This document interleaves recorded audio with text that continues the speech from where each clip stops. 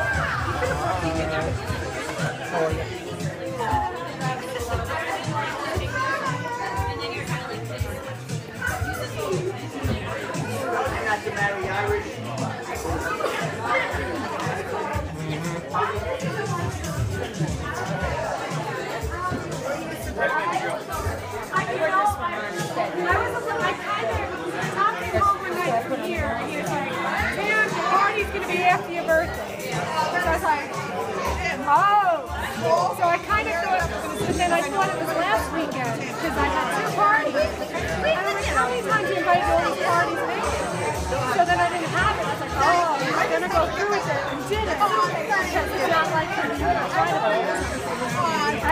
I didn't think. Yeah. So then like a bonus.